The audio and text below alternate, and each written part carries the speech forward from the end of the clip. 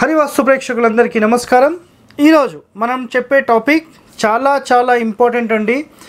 ఎవరైతే నూతనంగా ఇల్లు కట్టడం ప్రారంభించారో మీరు హండ్రెడ్ పర్సెంట్ ఈ ఒక్క రహస్యం కనుక తెలుసుకోలేదా? చాలా బాధపడతారండి. అర్థమైందా? ఈ రహస్యం తెలియక ఎంతోమంది ఎన్ని బాధలు పడుతున్నారో నాకు ఇప్పుడు అర్థమైంది. ఎందుకంటే చాలామందికి ప్లాన్లు ఇచ్చాను. సరే సార్ మాకు మేము ప్లాన్ చేసుకుంటాం మీ సలహాలు ఇంకా మాకు అవసరం లేదు అని అనుకున్న వాళ్ళు కేవలం ప్లాన్ వరకు తీసుకొని వదిలేశారు రైట్ కొంతమంది ఇంజనీర్లను పట్టుకున్నారు కొంతమంది ఆర్కిటెక్ట్లను పట్టుకున్నారు కొంతమంది మేస్త్రీలతో చేపిస్తున్నారు కొంతమంది ఫ్రెండ్ సర్కిల్లో చేపిస్తున్నారు కొంతమంది బిల్డర్స్తో చేపిస్తున్నారు.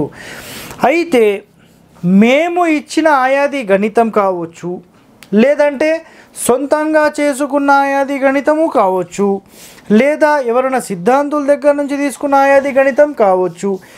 ఏ గణితమైనా సరే అది మీరు అక్యురేట్గా కడుతున్నారా అనే ప్రశ్న నేను ఇప్పటికీ వంద మందికి వేసాను అంటే ఇల్లు ఎవరైతే కడుతున్నారో అక్కడికి వెళ్ళి మెజర్మెంట్ చేస్తే ఏ ఒక్క ఇల్లు కూడా సరైన విధంగా కట్టబడలేదు. ఈవెన్ నేను ఇచ్చిన పది ప్లాన్లు అబ్జర్వేషన్ చేస్తే అందులో రెండే కరెక్ట్ వచ్చాయి మిగతా అందరూ కూడా ఇంట్రెస్ట్ లేకుండా వదిలేశారు. అర్థమైందండి? అంటే ఏం తప్పులు చేశారు? మీకు ఇప్పుడు ఎక్స్ ఎక్స్ప్లెనేషన్ చేస్తాను చూడండి ఒకసారి.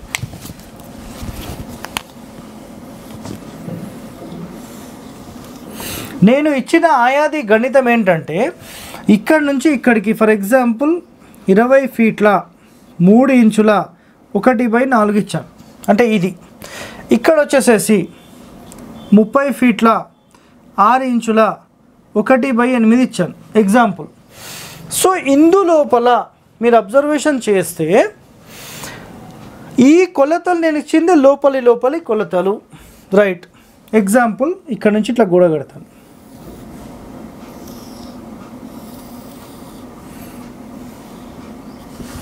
రైట్ ఈ విధంగా మనం గోడ కట్టినప్పుడు నేను ఇక్కడి నుండి అంటే లోపలి లోపలి కొలత కాబట్టి ఇక్కడి నుండి ఇక్కడి వరకు నాకు ఖచ్చితంగా ఇరవై ఫీట్ల మూడు మూడు ఇంచులు ఉండాలి. అదేవిధంగా ఇక్కడ కూడా ఉండాలి. మళ్ళీ ఈ పొడవు అంటే ఈ వెడల్పు ఈ వెడల్పు కూడా సేమ్ ఉండాలి. కానీ ప్రాబ్లం ఎక్కడ వస్తుందంటే బయటి నుంచి బయట చూసుకున్నప్పుడు ఇది వచ్చేసేసి ఎంత ఉండాలి అంటే ముప్పై ఫీట్ల ఆరు ఇంచులు కదండి ఇది? దానికి రెండు ఫీట్లు యాడ్ అవుతుంది ఒక ఎగ్జాంపుల్. అప్పుడు ముప్పై రెండు ఫీట్ల ఆరు ఇంచుల ఒకటి బై ఎనిమిది ఉండాలి. కానీ ఇక్కడ ఏమవుతుంది?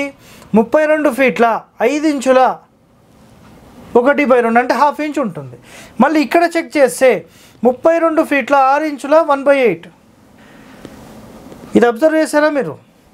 సో ఇక్కడ ఈ ఆరు ఇంచులలో ఏంటంటే ఇక్కడ ఐదు ఇంచులు వస్తుంది ఇక్కడ ఆరు ఇంచులు వస్తుంది. అంటే వన్ ఇంచ్ డిఫరెన్స్ మళ్ళీ వచ్చేసింది. ఆరు ఇంచులు అనే పాయింట్ అనేది పోయింది. ఆరు ఇంచుల డిఫరెన్స్ వచ్చిందా మళ్ళీ? ఆరు ఇంచులు అనేది లేదు అక్కడ. ఐదు ఇంచులే ఉంది. ఒక ఇంచు డిఫరెన్స్ వచ్చేసింది. ఈ అవుటర్ టు అవుటర్ చెక్ చేసినప్పుడు అట్లానే ఉంది. మళ్ళీ లోపల నుంచి లోపల చెక్ చేస్తే ముప్పై ఫీట్ల ఆరు ఇంచులు రావాలి కదా? ముప్పై ఫీట్ల ఐదు ఇంచులే వచ్చేసింది.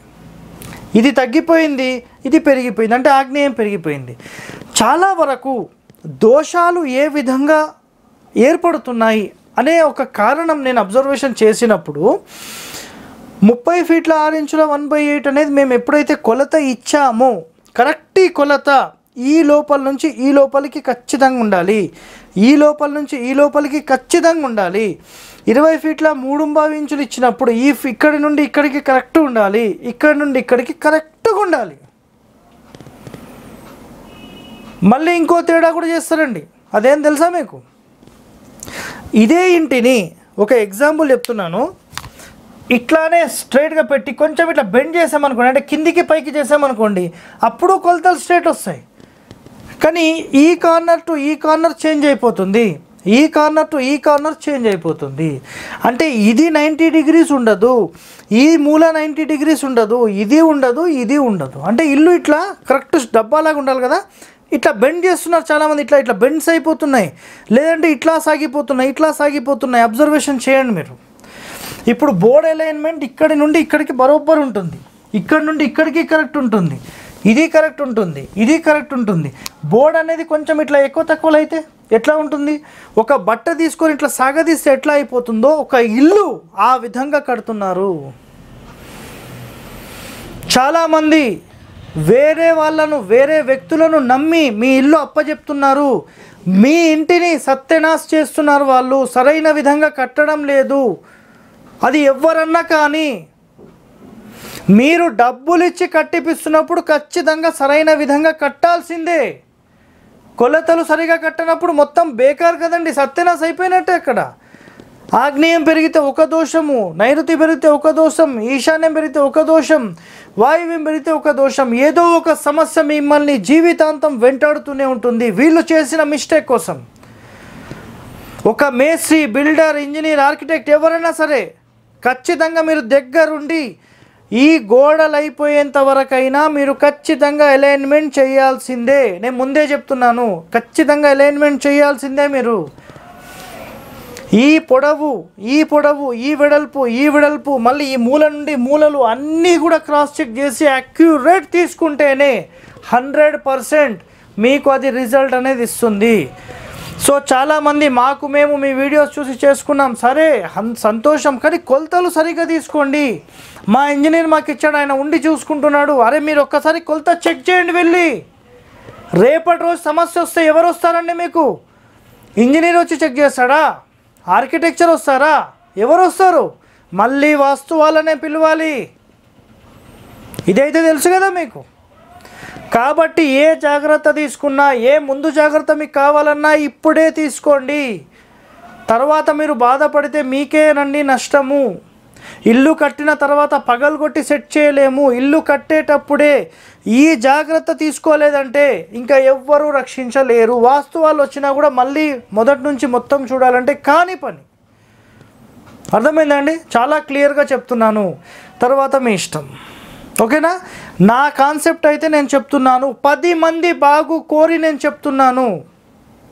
తర్వాత మీ ఇష్టం అండి. సో ఈరోజు నేను చెప్పిన టాపిక్ చాలా క్లియర్గా అర్థమైంది అనుకుంటున్నాను. మీరందరూ నా హరివాస్తు యూట్యూబ్ ఛానల్ సబ్స్క్రైబ్ చేయండి లైక్ చేయండి గంట బొమ్మను యాక్టివేట్ చేయండి పది మందితో షేర్ చేయండి. ధన్యవాదాలండి. Thank you.